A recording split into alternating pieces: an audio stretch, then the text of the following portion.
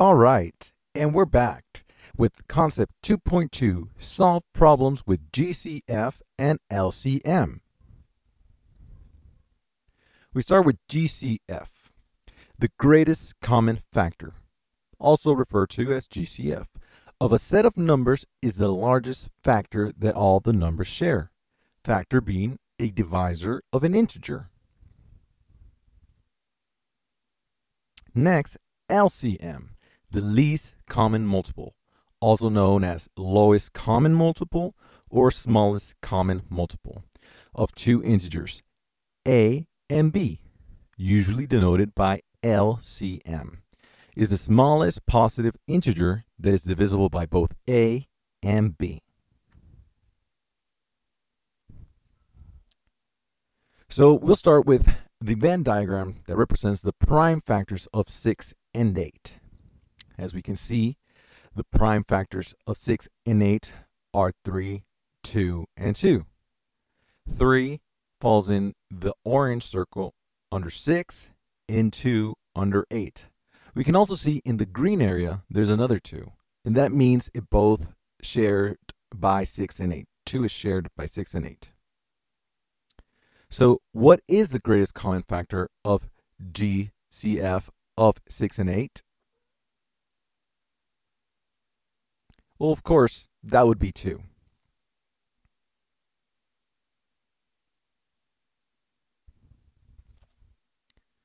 Next, consider the pair of numbers 5 and 8. We can do the greatest common factor by simply trying to see which factors are divisible by those numbers. So first, 5 is a prime number. The only factor that we can divide by would be 5, and that will give us 1. In 8, we could divide by 2. It would give us 4. Then we can divide by 2 again, and it would give us 2.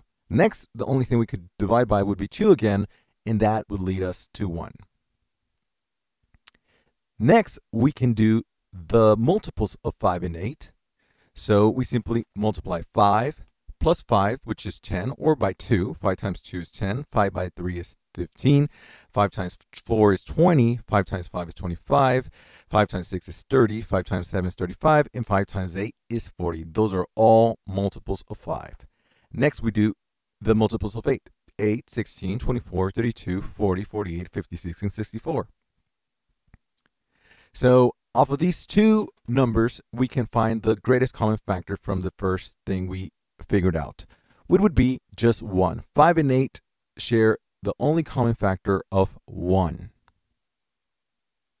Next, we can figure out the least common multiple on the next part of these numbers that we figured out, which are just the multiples of 8 and 5.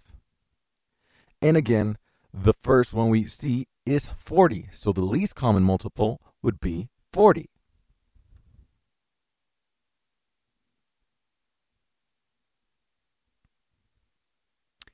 Next, consider the pair of numbers 4 and 9. So again, we do our graph. 4 divided by 2 is 2. Next, 2 divided by 2 would be 1. That's the last number that we can figure out. Next, we go to 9. 9 cannot be divided by 2, but it can be divided by 3. So 9 divided by 3 is 3. The next number we can divide 3 by is again by itself. That has to be 3, and we are left with 1. Next, we can figure out the multiples of 4 and 9. 4, 8, 12, 16, 20, 24, 28, 32, and 36. And 9. 9, 18, 27, 36, 45, 54, 63, 72, 81. With these two graphs, we can now figure out the greatest common factor. So we have to look at 4 and 9, and the only one that they match would be, again, 1. We look at uh, the next graph, which is least common multiple, and we can figure out that the least common multiple there would be 36.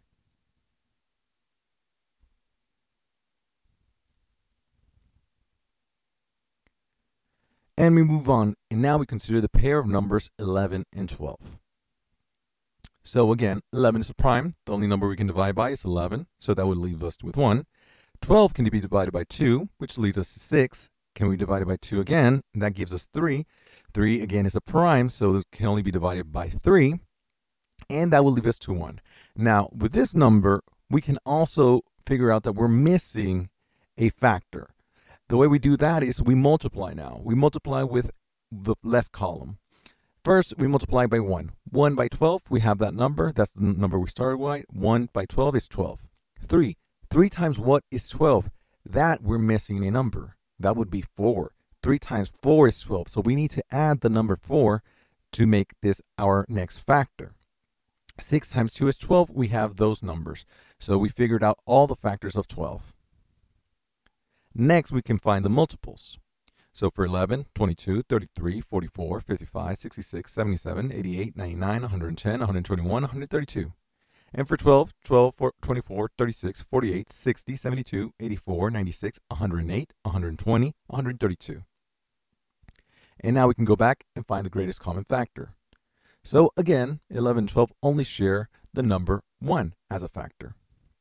And we can go look in the other columns and find the least common multiple. Now for this one, it takes a while to find them, but they do share a common multiple, which would be 132.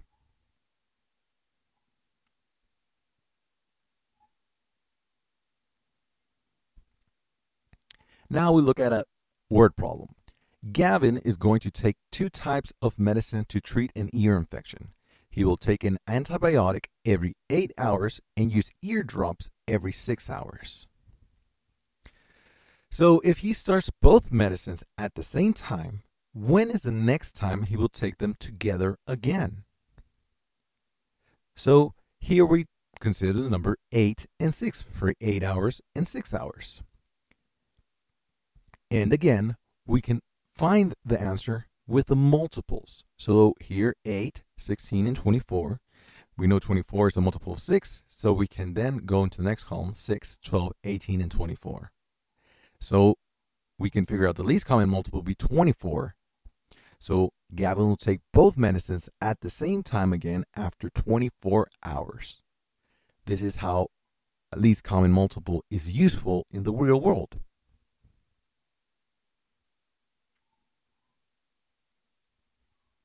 Next, equivalent expressions. So we have the expression 2 parentheses 9 plus 19, 4 parentheses 4 plus 7, 6 parentheses 3 plus 8, and 8 parentheses 2 plus 3. So to make these equivalent, we know that if we have a number in front of a parenthesis with no space, that means it's multiplication. So we multiply 2 times 9, and then we have an addition plus 2 times 19. And this is how we do the expression as an equivalent using the derivative property. 4 times 4 plus 4 times 7 would be the next. 6 times 3 plus 6 times 8 would be the next expression. And 8 times 2 plus 8 times 3 would be the last expression. Now we can simply multiply. 2 times 9 is 18. That would be plus 2 times 19, which is 38. So 18 plus 38. 4 times 4 is 16, plus 4 times 7 is 28. So it would be 16 plus 28. 6 times 3 would be 18, plus 6 times 8 would be 48. So 18 plus 48 8 times 2 is 16, plus 4 times 3, which is 24. 16 plus 24 would be the next expression. All these expressions are equivalent. And finally, we can just resolve or solve these expressions. 18 plus 38 is 56, 16 plus 28 is 44, 18 plus 48 is 66, and 16 plus 24 is 40. All of these equal no matter where you start.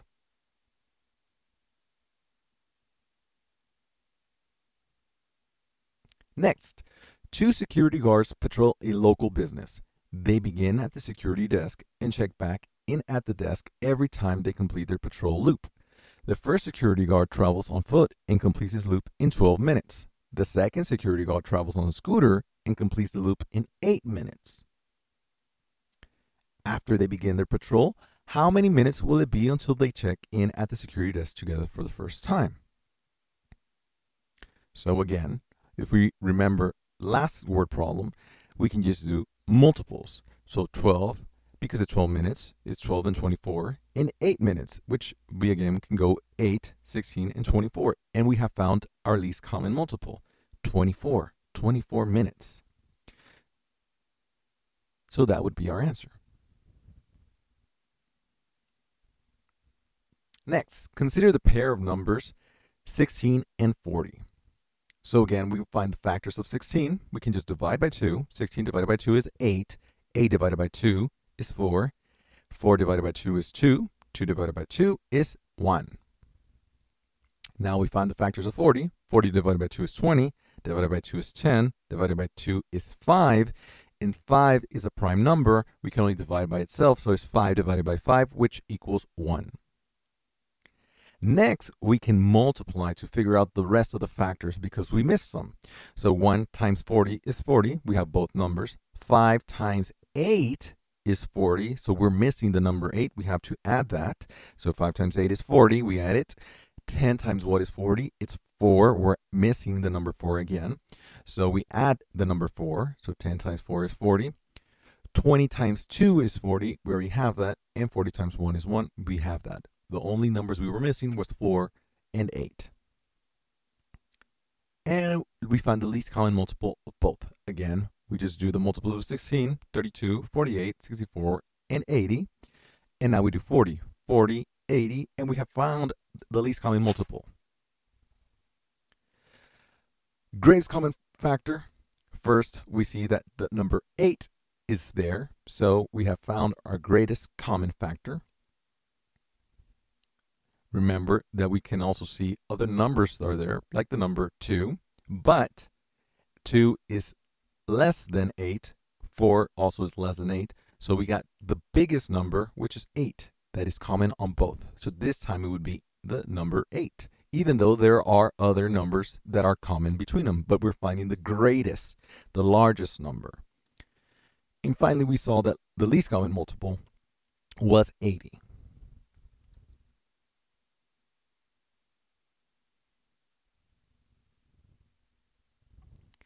And we move on to another word problem. Maxwell listed the multiples of 6 and 9 that are less than 100. He underlined all the common multiples. So for 6 was 6, 12, 18, 24, 30, 36, 42, 48, 54, 60, 66, 72, 78, 84, 90, and 96. For 9, it's 9, 18, 27, 36, 45, 54, 63, 72, 81, 90, and 99. All of the common multiples of 6 and 9 are also multiples of 18. As you can see, the underlying numbers, they all share the same amount. So it's 18, 36, 54, 72, and 90. Since the numbers of 6 and 9 are both multiples of 3, all the multiples of 6 and 9 must also be multiples of 3. So that's another conclusion that we can make out of the observation of these numbers. Next word problem. A baker wants to make up as many identical muffin trays as possible using all the muffins he baked this morning. He baked 24 chocolate chip muffins and 64 blueberry muffins. If each tray holds the same number of each kind of muffin and all the muffins are used, what is the maximum number of trays that can be made? So again, for this one, we use the greatest common factor. First, we do 24 divided by 2, that's 12. Divided by 2, that's 6. Divided by 2 is 3. Divided by 3, because it's a prime number, it's only itself, gives us 1. And just to make sure, we have to now multiply. 1 times 24 is 24, so we have those two numbers. 3 times 8 is 24, so we're missing the number 8. We have to add it. 3 times 8 is 24. Next, 6 times 4 is 24. We're missing the number 4, so we have to add that one too. 6 times 4 is 24. 12 times 2 is 24. We have all those numbers. And 24 times 1, we already have that those numbers too. So that is it. We found all the factors of 24. Next, we do 64. 64 is an even number, so again, we start with 2. So 64 divided by 2 is 32, divided by 2 is 16, divided by 2 is 8, divided by 2 is 4, divided by 2 is 2, and we reach the prime number of 2, so it's only divided by 2 again to reach 1.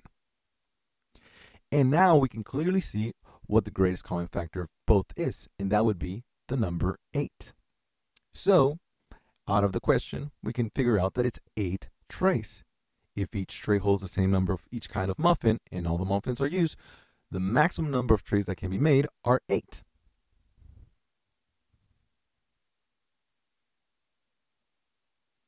And again, we go to considering the pair of numbers, now 18 and 24.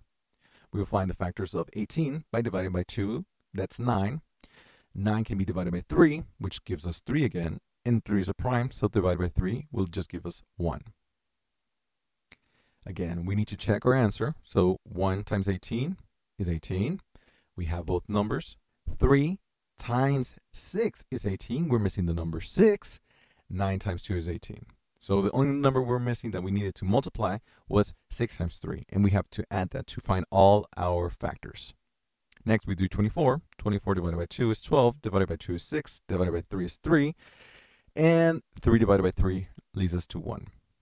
That's all the division. But now we have to check with multiplication. 1 times 24 is 24. We already have that. 3 times 8 is 24. So we have to add the number 8. Next, we do 6 times 4 is 24. We have to add the number 4. And 12 times 2 is 24. We already have the number 2 and 12 and 24. And that leads us to find all the factors of 24. Now we do the multiples. So 18, 36, 54, 72, and 90 for 24, 48, 72, 96, and 120. To find the greatest common factor, we find the greatest number on both the columns of 18 and 24, and that would be the number 6. To find the least common multiple, we find the first number that repeats on the last columns, and that would be 72.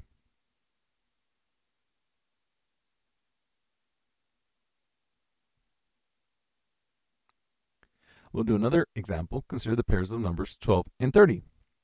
So again, where we did the factors of 12, it's 12 divided by 2, 6 divided by 2 is 3, divided by 3 is 1. Remember that we had to multiply, and we found that 4 times 3 is 12. Now we do the, the factors of 30. 30 divided by 2 is 15, divided by 3 is 5. 5 is a prime, so 5 divided by 5 is 1. Again, to check our answers, we then multiply. 6 times 5 is 30, so we have to add the number 6. 15 times 2 is 30. We have those numbers, and we're done with the factors of 30. For the multiples, we first find the multiples of 12 and 30.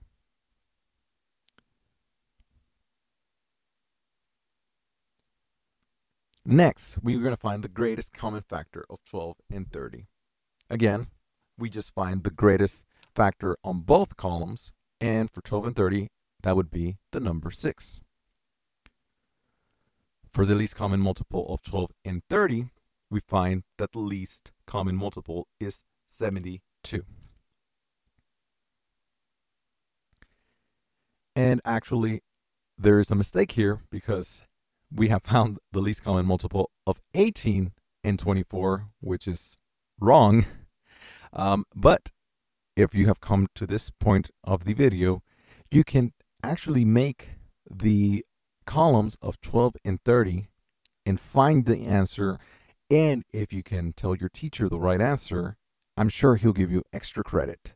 So we found a mistake on this video. Please get the right answer of 12 and 30 and see if you can get extra credit from your teacher.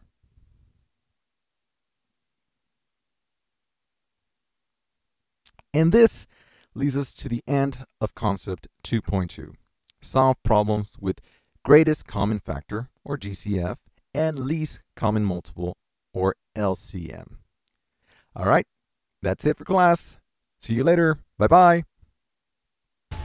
Self-destruct in 10. Please push the red button. Yeah, that red button. Just seven, push it. six, Yeah, the red button. Push the red button. four, Okay. three, Come on. The red two, button. Push it.